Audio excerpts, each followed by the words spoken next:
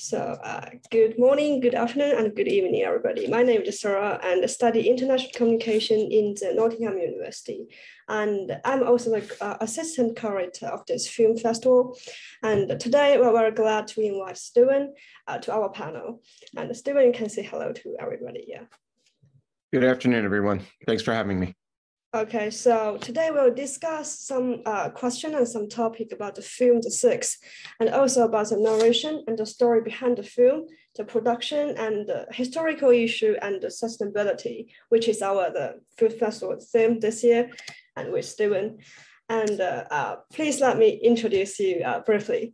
Okay, so uh, the Steven is a writer with over 25 years of working experience in China, and he specializes in culture, technology, and uh, maritime history, and has published books such as uh, uh, Jiangya Chinese Titanic and Poseidon, the China the secret salvage of Britain lost submarine. And he's also the chairman of the Explorers Club's East Asia and South Asia chapter and a member of the Royal Geographical Society. Okay, so uh, do you want to say anything else? Yeah. No, it, it makes it makes me sound like I've done a lot more than I have. Thank you. Also, okay. So the first question is about your China China uh, experience. So because I learned that you can speak Chinese perfectly, and you study Chinese language and literature, journalism, and work in China for more than 25 years. So could you please give us more details about your trip in 1985 uh, and what made you decide to uh, study and live in China and work in China? Sure. Well, at the time I was, I, uh, you know, in 1985, I was in high school. Yeah. And um, I was already thinking about a career in journalism. Uh, but I thought I was going to go to Washington, D.C., do political journalism, something like that. And then my mother got an offer to go to China as, as just as part of a tour group. Um, and I don't think we had any specific interest in China, but at the time it was sounded really interesting. There were um, China was just kind of opening up again after not, you know, not not being available for many years. Mm-hmm. And um, excuse me, the um, I my mother was not really excited about traveling, but but I really was. And uh, I, I encouraged her. I said, you know, you really have to go on this trip. And she said, well, why do I have to go? And I said, well, because, you know, if I had the same chance, I would go. And so um, she said, well, I didn't know you want to go. If, if you want to go, we'll both go. Mm. And um, at the time, it was, you know, being fairly young, um, it's possible that no matter where I went at that time, you know, if I had gone to Africa or if I had gone to another country in Asia, uh, excuse me, the, um, you know, it would have been, it would have had the same impact. But, you know, to go to China at that time, um, you know, when it was just starting to open up and just starting to develop, you could see that that there was going to be such momentous change you could see that there was going to be you know just giant social shifts and and you know at the time uh, you know people wore you know mao suits and and rode bicycles and you know was just just really underdeveloped but you know you could see it wasn't going to stay like that for long and i thought wow if you want to be a journalist then this is this would be the place to go you know this you, you know the, you never run out of things to write about if you came to China. And if I've been right about one thing in my life, that was what I was right about. Um, you know, China was and and still is really the best story going. And and there are still so many stories um, that that are left untold. And uh, so uh, after that, I just kind of changed my focus and I said, okay, well, what do I have to do here? Do I have to should I learn to be a journalist first, or should I you know start learning chinese language first so when i went to university i um i started to learn chinese um the the language and uh, then um i went to graduate school for journalism and then uh, after that the, the first chance i had to move to beijing and start working i i took it so so that's how i arrived there in 1996 Um, I understand. So, uh, based on your uh, living experience, observation, and studying, do you think uh, what is the main obstacles for the Western world to learn about China or Asia? Well, I think I think I think there's a lot. Um, I think you know anytime you're dealing with um, you know a country that doesn't speak the same language the first thing you have to do is you have to learn that language. You know it's it's um it it always amazed me how many journalists were there and still did a pretty good job but but didn't speak the language themselves. And and for me that that just would have been impossible. I i, I would not have been able to accept that. Um so you know i'm glad i'm glad that i that i started learning language from an early an early point. I think also you know understanding the history of a place is absolutely critical because even though you know you're dealing with people in a in a contemporary setting you know you can only deal with people today there's sort of so much that's you know culturally and socially in the back of people's minds um you know and and collective things that are shared you know so much of so much of culture is is historical. You know it, it comes from some previous event that may not be obvious. Um so i think those two things especially in in Ch- china's case are are absolutely critical because even if the average person doesn't know much about history or if they don't really uh, pay much attention to it, um, it, it's you know you you hear and see references to China's history every single day when you're there. You know whether people actually understand it or not. You know it's it's it's talked about all the time. It's referred to all the time, um, and so I think especially in that case, um, it's critical. And I think learning you know learning the language of a place where you live i mean that's just basic respect. That's just you know it's it's it's very nice if people are nice to you and they happen to speak english and and so forth. But you know if you're going to live someplace for you know more than a few months then um, you know any, any amount of the language that you can learn is is of great assistance. Um, but I think that another possibility is the way of understand the history, understand the society. Because I believe um, recently the, the world is dominated by the Western country and Western culture. So how to understand the Asia and understand the China is through an otherness or Orientalism perspective. Do you agree with me? So is this also an obstacle for people to understand Asia, understand the Oriental society? Well, I, I would agree with you that that so much history is subjective, but you have to start somewhere. You know, you have to start with. I mean, even a even a history of China written by you know someone from Britain in 1870 gives you a perspective on the way that place was at that time. You know, to us it's history. To them, they were writing it um, from from their contemporary perspective at that particular time. So, um, you know, we can always filter out things. You know, something that we tried to do in the six was we tried to uh, create an objective history of what had happened. You know, we we we were there was so much so much of Titanic history is subjective because we want certain people to be heroes. We want certain people to be, you know, the the tragic victims.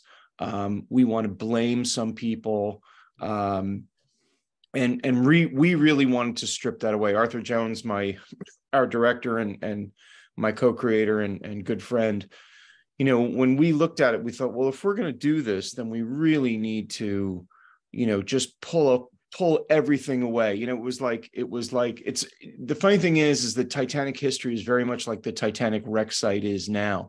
It's just kind of covered in these barnacles. It's got this stuff that's you know the time and pressure and and and seawater has just you know wrapped it in. And and that's nice but but the problem is then you can't see the wreck itself. You can't see you know the way that it was. And and so our our objective was to get rid of as much of that as possible. I'm not interested in somebody saying oh well i saw this or i heard this on the rescue ship or i you know did that or whatever what we wanted to see was well what does physics tell us you know what does excuse me what does what what is actually possible because something that's lost in a lot of history whether it's titanic or china or whatever is that there are certain things that are just not possible. there are things, you know, we still live in a world that is governed by physics, that's governed by chemistry, it's governed by biology. So you can say that somebody did, you know, this or that, or or you know, they hid somewhere, or you know, um, you you can you can look at things that way. But the reality is, is you know, we we live in a physical world, and that physical world limits a lot of what we can do, and so that's kind of what we set out to do. So to to to answer your question a little bit more specifically, you know, we can only read, you know, the history that's available, the the, the people that that went out and and wrote it. Um, we can go back and re-examine it, which you know we certainly did in this case. Um, but I think we always have to look for for what the facts are. And again, it, that, that goes back to learning the language. You know, if you can read Chinese history in Chinese, obviously it's going to be different than reading Chinese history in French or reading it in English or German or you know or or even Japanese. So um, you know, though the, it, it really depends on what you want to get out of it. If you want to get a great story out of it, then it's easy. Then you you know you just you you read what you want to read and you come up with your story. But but I think to to genuinely understand what happened, um, you know, you need to go really deep and and as much as possible in uh, the original language. Okay, so you said you want to review the history from their own culture perspective. That is my understanding. Yeah. So my next question is about what's your opinion and how do you see more and more Asian film, Chinese film, Eastern faces gaining international recognition?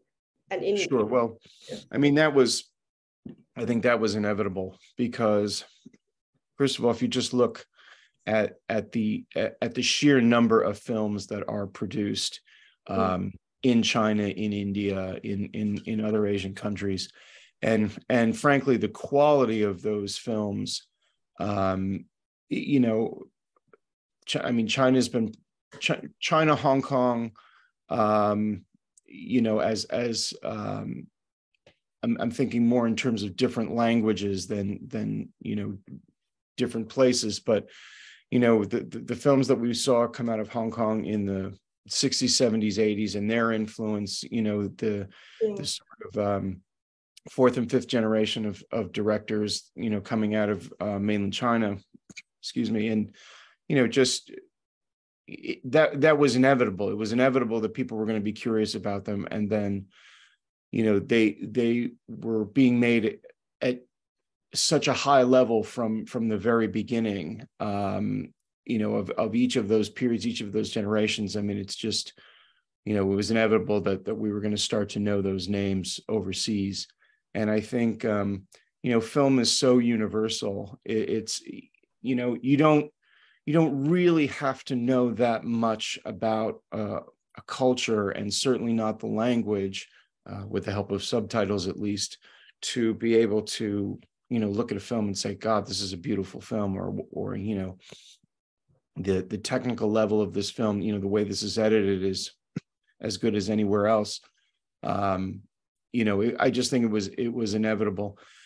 And then i mean you know again just just talking in strictly in terms of numbers i mean the the the size of those markets and the number of people that are involved in those industries it was just it was just inevitable. Now you know we've we've seen attempts by chinese directors you know i'm thinking specifically of, of mainland directors but but you know also directors from from hong kong and and, and stars from um uh, you know from both places you know try to try to break in in um you know in western film um you know probably bruce lee is still the most recognizable you know um, film star um, to to you know the average Westerner. I think that's kind of sad. Not that Bruce Lee wasn't a great actor, not that he wasn't highly influential, but you know you've also seen success with you know Jackie Chan. Um, you've seen.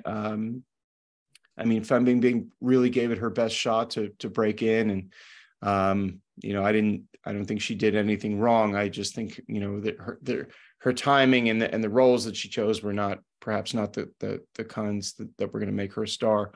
I mean, um, probably film fans remember Gong Li better than they re- than they remember Fan Bingbing. So, um, but I think that opportunity is still there, and it will just. My prediction is that it'll just happen very naturally. It's just yeah. something will you know you can't you can't force it. Somebody will get the right role at the right time. And so i mean look at you know if you look at k-pop for example i mean why is k-pop so popular? What's so different about it than you know other other you know pop acts that we've seen from from different places? But you know now all of a sudden you know every every kid in america has you know blackpink or bts on their on their phone. And it, it's just just happen very naturally and i don't think anybody even thinks about them being you know not from the us so um you know so so i guess we need to stay tuned for that. Okay understand. And i noticed that there's one difference in your documentaries because many traditional documentary often use a narration to tell the story from the beginning to the end. But why did you choose to break away from the tradition and tell it from the researcher's point of view? I mean you appeared in the story and you are a very important part of the story. Well, I mean that that's that's a, a director's choice, um, and I think Arthur Jones would direct would would disagree with you uh, about you know the tradition of documentary. I mean there there are you know a lot of documentaries that have you know would be on top 10 top 50 lists that that have no narration. Um, and of course at the time that they were made yes they were considered non-traditional. But i think now more and more um, you know documentaries made for tv will use narration but but more feature length documentaries will sort of let the story tell itself almost. I mean i'm the i'm the tour guide let's say through the story um, but you know it, you know arthur and i have very different approaches when it comes to to these projects that we do because i i really am not a filmmaker. I i you know i can barely take a photo with my iphone so i i just don't have the tools to do that and i don't have the vision to do that which is one of the reasons i wanted to work with arthur in the first place because i knew that he did.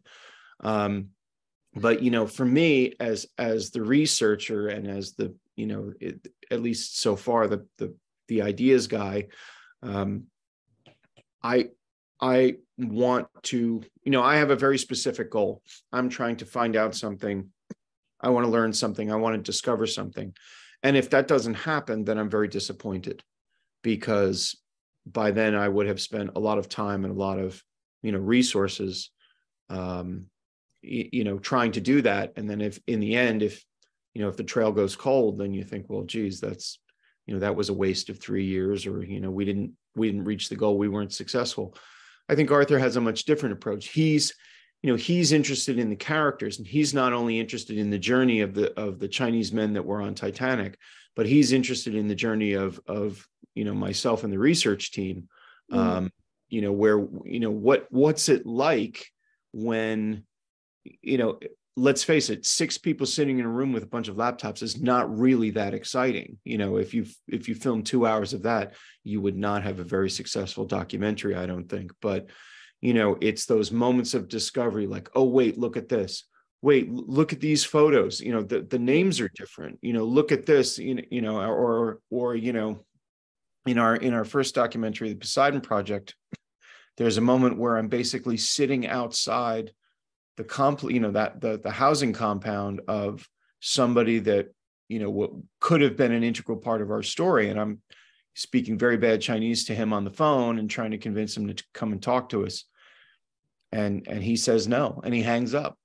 And and you know, for me, that's failure. But for Arthur, you know that that's part of the process. You know, you're not always going to succeed. You're not always going to find what you look for. So, you know, um, for for him, the the I mean, of course, I think the viewer goes along with us because they are hoping that we're going to find something and be able to tell a larger story because of it. Um, but I think for you know again for for Arthur and for me, you know our goals are somewhat different and our feelings about the outcome um, is is also somewhat different. Oh, okay, you mentioned failure and difficulties. Uh, I remember the director also mentioned this in his interviews. For instance, some difficulties like uh, the names of the six survivors and uh, uh, the names in the archives are unreliable. So you are some genealogists to uh, for help, but they reject. I mean, they turn you down because this is too difficult. So how uh, can you or your team to overcome the difficulties you encountered in your research? And what is the belief or motivation that keeps the team going on? Sure. Well, um, I mean, we had a very big team um, all together. You know, I think at one point we had 16 people that worked on you know different parts of of the research. I mean, we did we did ultimately have some success with genealogists um, because they were you know they also thought it was a great puzzle and a great way to kind of test their skills. And you know it, it's you you can only ask people to um, you know you can only ask people to do their best. And um, in in in this case you know what what we tried to do in the beginning when when the only researchers were were Arthur and me we thought okay these names are really going to be a problem. This this is going to take some time you know and we need to get more information about this. Okay. So then what can we do right now? And that's when we started to turn towards the physical um you know the physical problems let's call them in the story which were you know are there men hiding in a lifeboat? Um, how could we prove or disprove that? Um, you know how, how do we not rely on unreliable accounts to tell our story and and what could we do that was different that hadn't been done before you know mm. we're I, I mean i i have an interest in maritime history but arthur does not particularly so for him he doesn't really care what people who've looked at Titanic before have or have not done. Um, you know, so you know, for me, I cared very much and wanted to do something very different because that was the only way that we were going to make any kind of a contribution to Titanic history. So, you know, working on those physical problems, how did they get off the ship? Why did they survive when so many died? You know, what what really happened you know those were things that we could work on directly and we decided well even if we can't take the family story further then maybe we can you know do something smaller and just kind of work on on this bit of of titanic history. And then in the meantime i mean you know something that can't be discounted in a in a story like this is luck.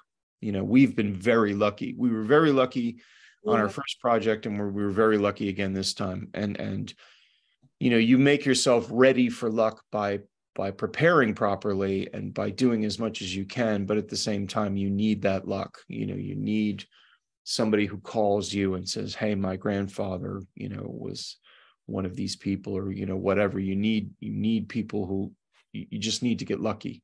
Um so you know we had a nice combination of all of those things. I mean, I'm personally disappointed that we were not able to tell more of the six stories fully. You know, I wish I wish we had been able to carry them forward, but you know, the reality is is that these were not men whose goal was to be remembered. You know, that that was that was not what they set out to do. And so as a result, they didn't leave behind a lot of records. You know, maybe there were records, but those records have been lost or destroyed um, and so we just had to go with with what we had. So it's a it's a it's a chance. You know, we we are eternally optimistic when we start these projects. We absolutely re- believe that we are going to find every bit of whatever we set out to find. Um, and I really have no idea where that optimism comes from. Um, probably Arthur more than myself. Um, but but um, you know you have to believe you have to believe you're going to find it if you don't believe you're going to find something i guarantee you will not find it but in our case we really believed that we would find family members. We believed we would find descendants. We believed we would find their stories. And at least in a couple of cases we did. So you never imagine you will be failed or this team cannot find a result. Because at the beginning it's just start from a very very small clue. You never you from the beginning to the end you believe yourself. We we absolutely believed yeah. I mean you you have to. Because mm. You know the, the reality is is that um i mean the the the documentary maker today is really spoiled for choice you know there were so many wonderful stories to tell and and you know it's so uh, accessible. I won't say easy, but accessible to tell them. You know, if I really want to go out and shoot a documentary, I'll charge up my iPhone and go out the door, and then you know I can I can probably even edit it very crudely on that iPhone, and then you know I have a global distribution network known as YouTube that I can upload it to. So in terms of making it and getting the story out there, you know it's it's it's so easy today. It's so you know it's it's it's it's so ex- again i shouldn't say easy so accessible. But you know when we looked at we actually started working on a on a different project that you know and and and the six came out of that project. It was not a titanic project. It was a it was a maritime history project. It was a, a shipwreck project but um you know and and so you know to have two wonderful stories that we wanted to work on and and have to choose one of them i mean that's great.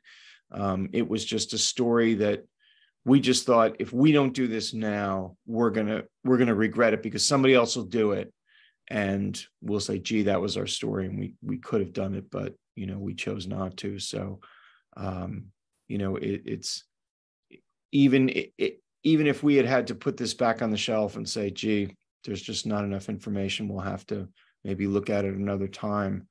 Um, we spent three to six months in the beginning just trying to prove to ourselves that that there was no story there, which sounds strange, but um, you know, because of course we needed you know to find funding and we needed to find you know people to work with us and so forth and if you can't convince them that there's a story then they're not going to do any of those things. So first we had to prove to ourselves. So we thought, all right, let's just make sure that we've got something here.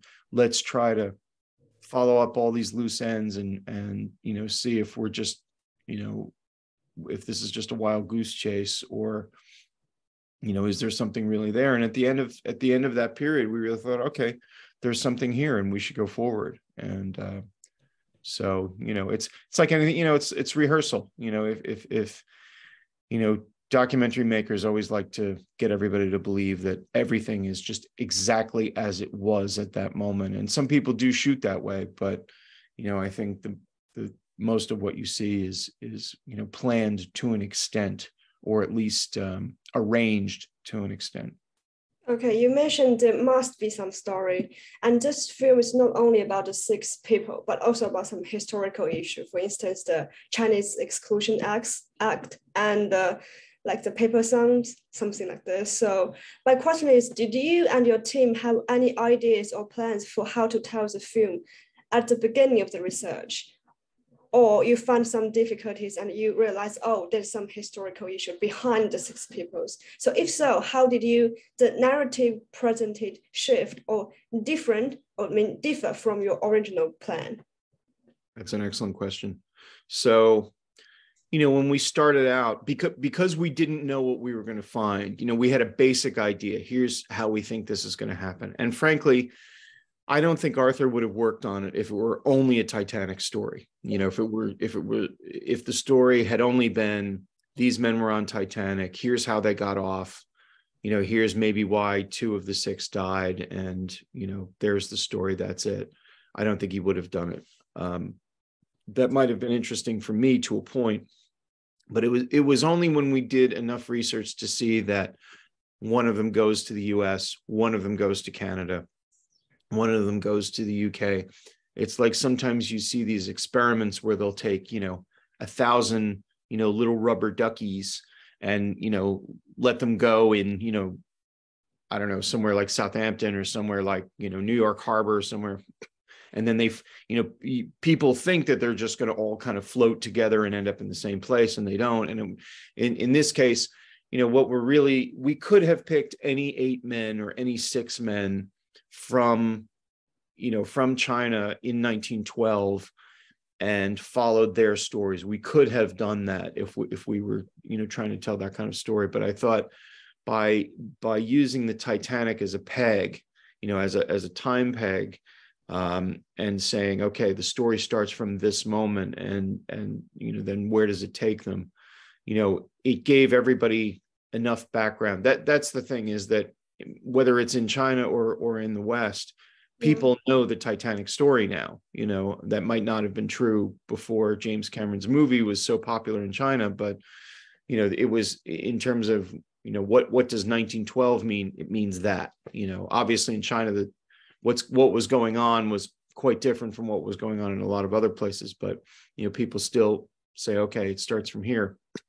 So that saved us having to tell a lot of backstory and and and providing a lot of historical um, context. But at the same time, you know, a lot of a lot of people didn't know uh, mm. or didn't know very much about the Chinese Exclusion Act. They didn't know about policies that were in place in the UK. They didn't know about you know exclusion laws in Canada, um, and you know I, that that I think really was the exciting opportunity of the of the story was to show how these men were sort of you know almost literally pushed back and forth across the atlantic by these different events you know by um you know by by labor events by labor opportunities by world war one. Um and just you know the idea that the whole time you know at least one or two of them had you know they were thinking about you know i i want to go to one of these countries. I want to establish a life for myself there. I want to be a merchant. I want to you know open a restaurant. You know i just want to go there and and um, and have a better life for my family there.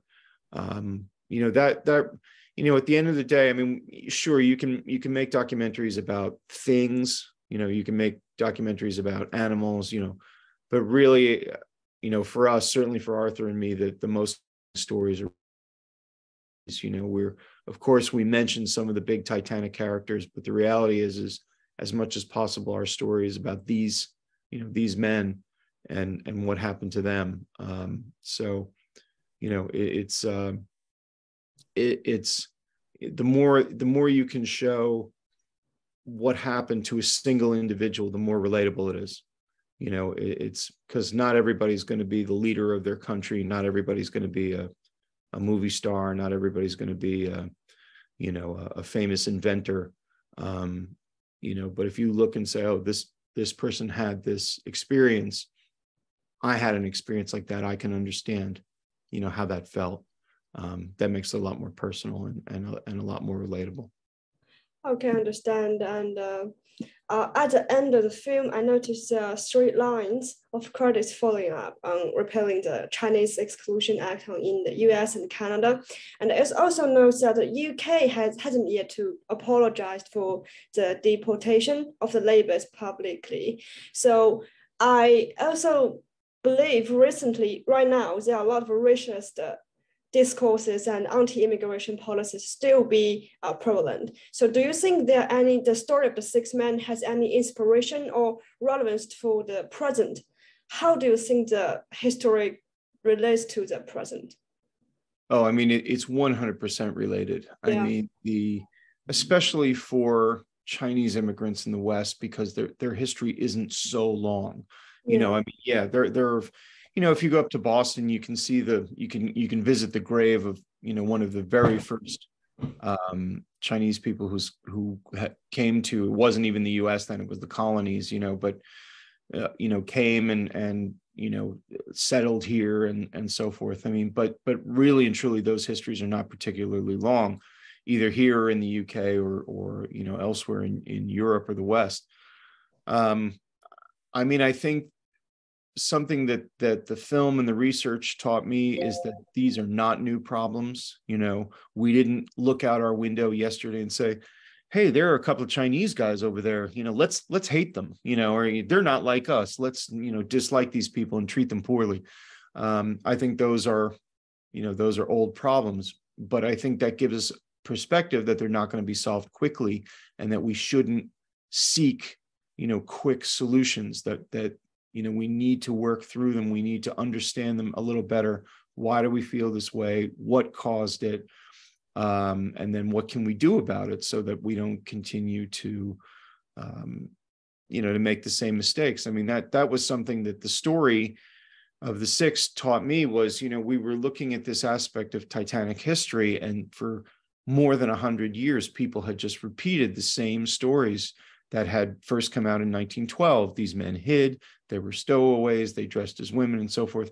And nobody ever just, you know took a few days to kind of dig into it and and you know is this even possible? You know who says that you know who said this? Where were they? Could they have seen this? Was this their personal experience or are they just you know making up a story or are they just repeating something that they heard on carpathia on the way to new york you know it didn't it it did take a lot of work but it didn't really take that much work you know to to realize that those stories just had no merit. And so you know in in in terms of in terms of racism and in terms of you know the these these policies of discrimination it, it shouldn't really take that much work. I'm not trying to simplify you know i'm i'm not trying to diminish a, a very significant problem but at the same time you know it, it's i think to be honest i think the average person would never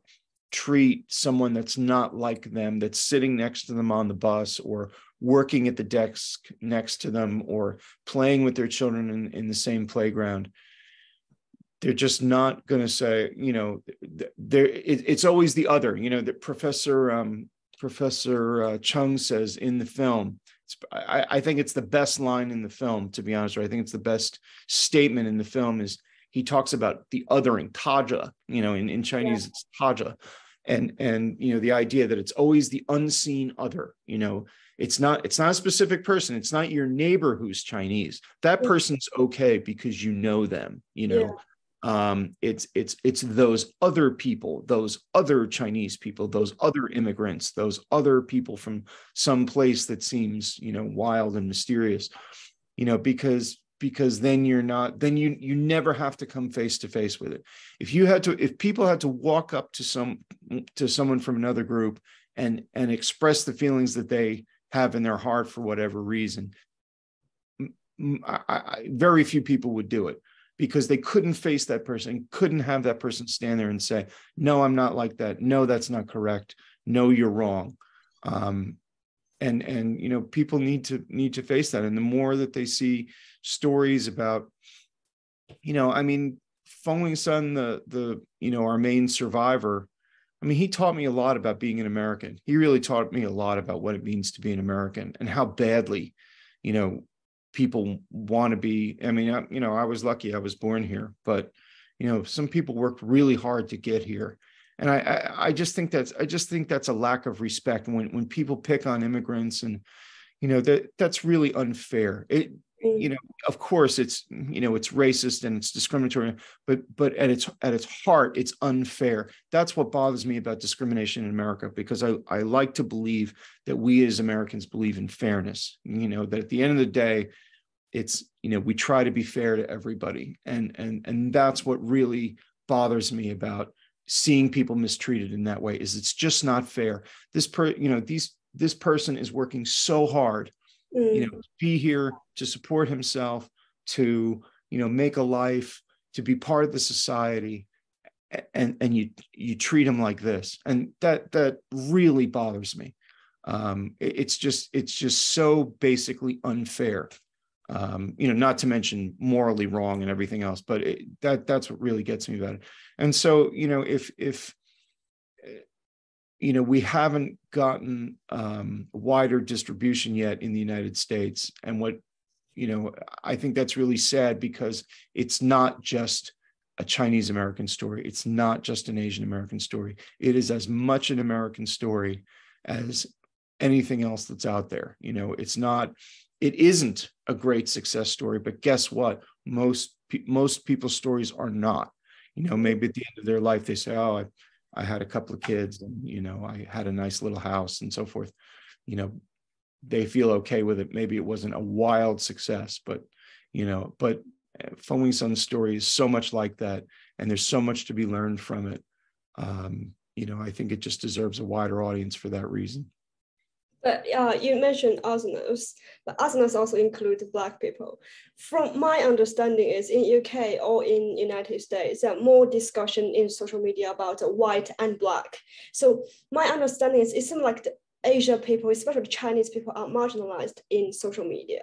So, and uh, besides, uh, Chinese culture is more gentle. So Chinese people they don't like to fight for their fights. So do you have any like wish or any specific um, like want people to change towards Chinese? Because I don't believe we can understand the race problem, the Chinese and the black people in the same way. They're different. Yes. Um, I I I'm I wouldn't dare to say too much about those subjects because I think I, I'm I'm just not enough of a of of of an expert to to say anything intelligent or meaningful. But I think that you know there there of course there are not as many Asian Americans um, you, you know in in the United States as there are other groups, um, and it, you know a lot of that has to do with geography. You know, if you're in a place like New York or if you're in a place like California, you are going to have more interaction with with you know uh, Asian Americans than you are um, in other places, but not necessarily. You know, the funny thing is, is that you go to just about any town in America and there's a Chinese restaurant. Yeah. You know, it's it's it's it's shockingly universal. you know, you you're probably more likely to find a Chinese restaurant in a small town than you are a McDonald's. Um, and you know, those people have been there for decades. And I mean, look at look at Tom Fong. You know, Tom Tom Fong, you know, owns a 100 year old Chinese restaurant in a town in Wisconsin, and the community absolutely loves the Fong family. Okay, I mean they, you know, I don't know. Maybe there are people there that that don't like them or you know have you know negative feelings about them, but they are as much a part of the community as anybody else. And um, you know, I think if people just again don't people need to avoid othering. It's not you can say, oh well, Tom and you know they're okay, but you know those other people, you know that's that's what we have to get away from. It's always the and especially now in in um, specifically in American politics, it's it's always you know that other side, whoever the other side is. It's always you know the those people, um, and and I you know that's it's it's it's just dangerous. Aside from being ignorant, it's just dangerous because you know we the reality is is we all have so much in common you know eh, there there's there's so much in the human experience that we all share but also on a on sort of a national level you know the person that lives next to you they they live next to you because they're of the same economic class. They probably have a similar background. They probably have a similar level of education. Mm. so you know why why be so upset over them being there? Um, you know if they don't clean up their yard that's something different. But if you know just just on a person to person basis you know it's just not it's it's not a big deal. And I, I think if people were a little bit more willing to go out and and and learn about the people next to them not only would they feel better about them but they'd probably learn a lot. Um, and uh, you know again that's one of the reasons i hope that that we find a bigger audience here because i think a lot of people really relate to the story. I mean, sure, you know, 20 or 30 percent of the film is in Mandarin or is in in um, you know, or is in uh, you know, Toisan or or you know, but you know, for the most part, people can understand it. They can read the subtitles. It's you know, it's not a, it's not like I'm asking them to sit through 90 minutes of nonstop Chinese language, you know, with subtitles. So, um, you know, I think they they learn learn a little bit if if they could and and you know about a very relatable subject. Okay the final question is a little bit big and general because uh, you mentioned about the human rights and equality. So there's a, a part of the sustainability. So what is your understanding of the sustainability in global level? I'm sorry could you could you repeat the last part of your question? Okay, so you mentioned human rights, equality, and something about this. They're part of the global sustainability. So what is your understanding of the sustainability in like global level? S- sustainability? sustainability that, yeah. Hmm. Wow, that is a very big question. Um, well, I mean, I I um, I can't remember the last time I used the phrase human rights.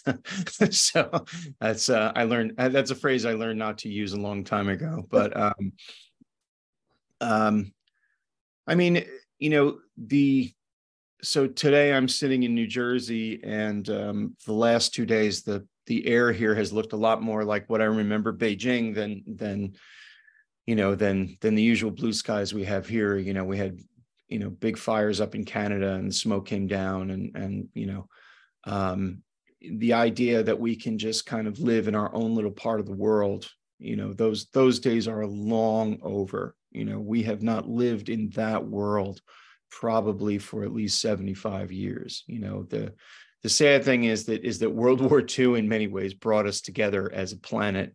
Um, you know we decided to go fight each other but you know that was really the first time a lot of people went and saw the rest of the world. Um, and and you know i mean i'm i'm wondering if this sofa that i'm sitting on was made in china and and you know i'm you know i can look around this room and i wonder how many different countries the the, the things you know were made from by workers that i'll never see. And and uh you know it it, it just kind of if, if a fire in canada can cause problems in new jersey um, you know that's just one tiny little uh, example that you know something that happens halfway around the world does impact me sitting here and it's not because i lived in china for 25 years. Um, you know of course when things happen there i'm concerned about you know friends and and and you know others and um, but you know it, it, it's we don't we don't all have to love each other but you know we have to we have to understand each other. You know that's you know you don't we don't all have to play together or you know work together whatever but you know we we really have to co- cooperate and respect one another on a on a very basic level um, and we're already seeing both the benefits of that and you know we're seeing the the, the negatives of that when when we don't do it yeah. um, you know it, it's i think anybody who is uh, has a relationship with china or is in china and has a relationship with the west is very upset right now because you know it's it's like our parents are fighting you know that's that's the thing is that's the that's the way i feel about it is it's it's you know that that's a simplification but you know it's like when your parents are fighting you don't want to pick a side and you just hope that they get over it you know you hope that that that they're able to fix it um because it's just not great, you know, when they don't get along. Um, so, you know, I really hope that I don't, I don't know that China and the West are going to have the same relationship that we had maybe 10 years ago or 20 years ago, um, which is sad because that was really wonderful. You know, it was really, it was really great when we were all kind of going back and forth and, you know, interacting and and you know all the exchanges and so forth um, but you know, the world is a better place with the, you know, with, with us getting along than it is without it. Um, and and we shouldn't think otherwise. So, you know, I, I really hope that you know globally we get to realize that it's it's time to work together, or you know, we're not we're we might run out of time. So, um, you know, that's that's not the uh, that's not what I set out to you know to do when I when my friend and I made a movie about you know Chinese men on the Titanic, but hopefully we can contribute a tiny little bit to that. Okay, thank you, thank you. So, is there any question from the audience? If you have, you can just directly ask. Hi, uh, can you hear me okay? Yes, yes, please. Oh, uh, great. Thank you for the wonderful, great discussion. I think both the uh, discussion and documentary are great. Actually, I don't have any question, but I do have some reflection or uh, comments on your discussion. It, it, especially about the reflection part on the uh, early 1920s or 1910s. I, um, I mean, in the moment because it, it's kind of a time of uh, political correction because we have Michelle Yeoh uh, wins the Oscar and we have Anna Wong being repraised as a trailblazer. However, I think maybe it's it is also a great time to look critically to that uh, period of time, but which is actually uh, being less discussed. So, which I think why this discussion is especially wonderful because you did you you you do provide a very critical perspective in looking at that period of time. Thank you. Thank you so much. Thank you. Thank you. Yeah, it, it, it's a very rich period of time to look at. I mean, there's a, you know, there's a reason that, you know, for example, Jiang Wen likes to make movies that are kind of set in the 20s and 30s. It's a, you know, it's a little bit of, a little bit of a chaotic period, but it's, you know, very rich in terms of stories. Yeah. So um, exactly. Was, yeah. Thank you so much. Um, is there any else question and comments? Okay, so that is our today's discussion panel. Um, you inspired me a lot, so thank you very much. Thank you very much. 我不不好意思，我没没没讲中文这次，我就可能下一次吧。啊，好的。我知道你能讲很很棒的中文，没没没没发音非常。就是如果看纪录片的话，就我就我我每次看，我觉得哎，我的我的我的中文真真差。也很好。OK。